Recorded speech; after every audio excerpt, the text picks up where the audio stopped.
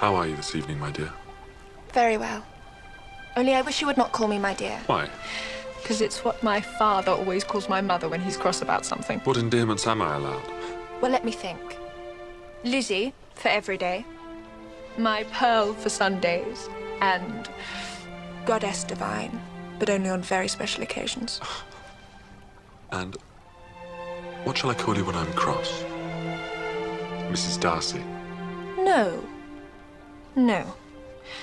You may only call me Mrs. Darcy when you are completely and perfectly and incandescently happy. And how are you this evening? Mrs. Darcy.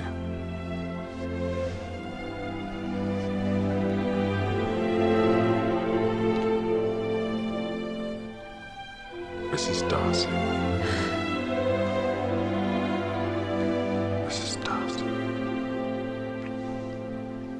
Mrs. Darcy.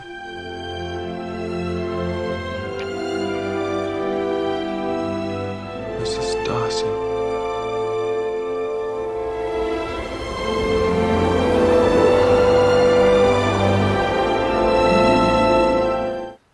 I have lived a full life here. I have not been trampled on, I have not been petrified.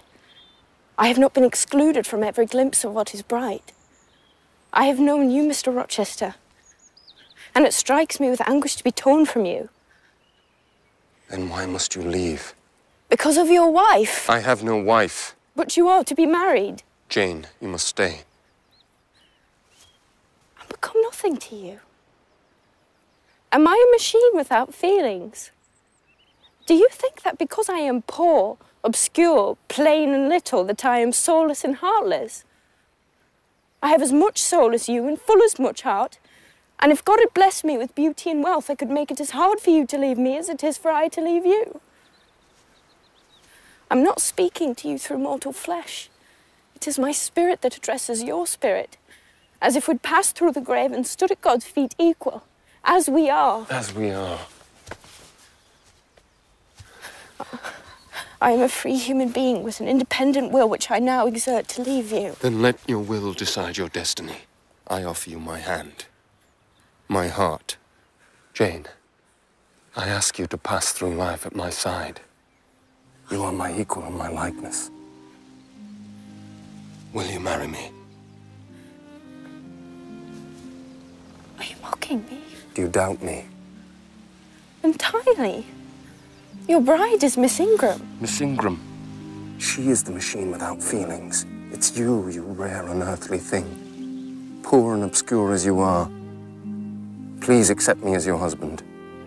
I must have you for my own. You wish me to be your wife. I swear it. You love me. I do.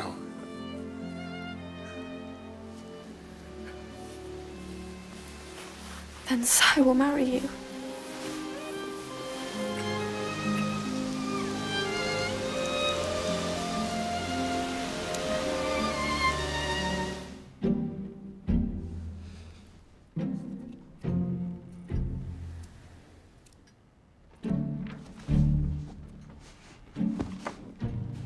Do you. Do you feel a draft, Mr. Knightley? About the knees? I, I cannot say that I do, sir. Ah. Pity.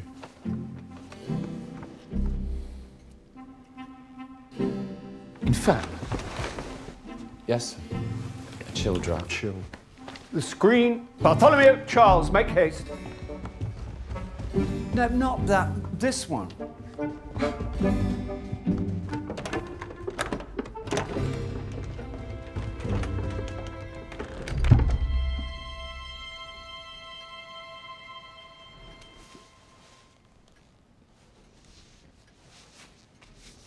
No, not that one. This one. How could I ever leave him? He can remove with you to Donwell. You know he never would. He could not stand it. Then I shall come here.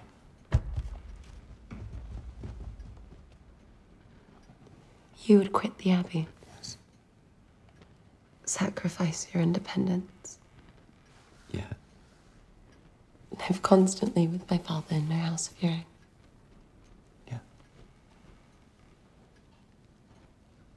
Uh, how is it now, Mr. Knightley?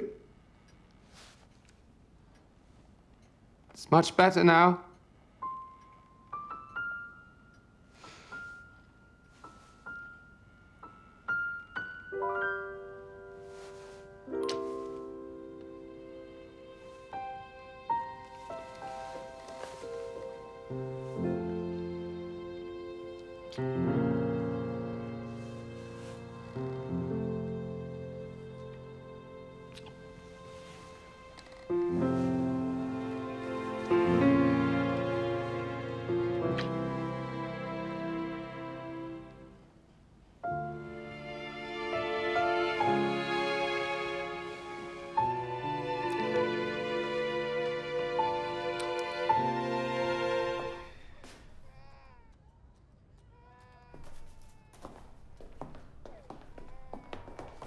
I had an inspiration.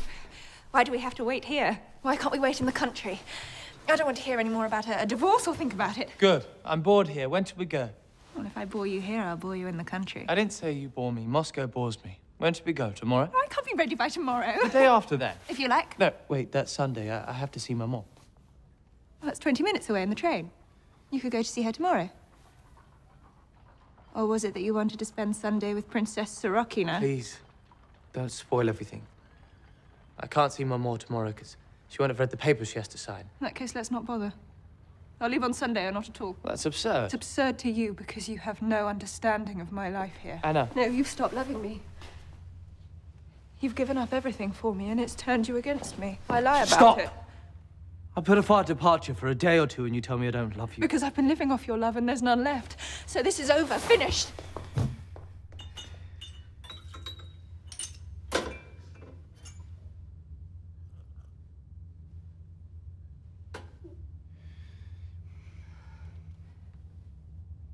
I'm sorry.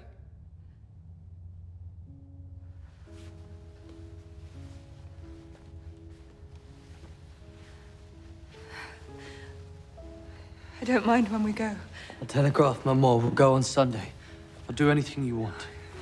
You should leave me. I don't want to. I love you. Why? Can't ask why.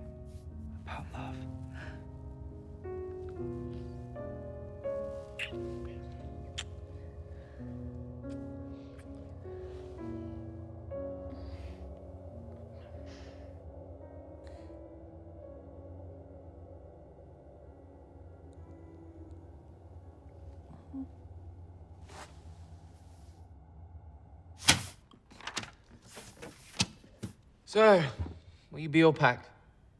I'll be out today making the arrangements.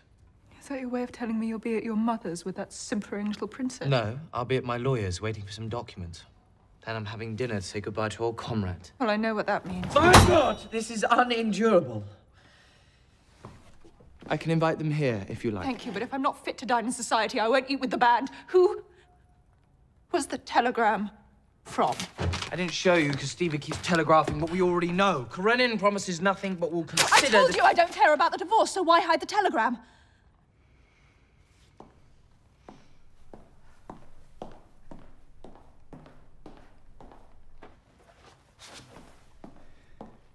Is there anything you wish to say to me?